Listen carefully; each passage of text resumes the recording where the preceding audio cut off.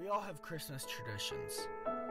If it is going out of town, to a parade, or even something as simple as going to the movies. Now, I have some of my own Christmas traditions. A few of my traditions include going to church on Christmas Eve, decorating the house,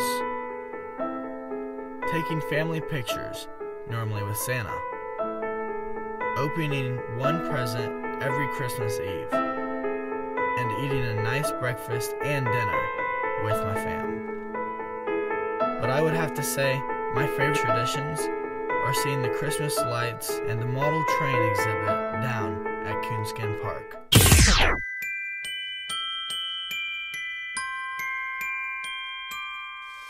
I don't want a lot for Christmas.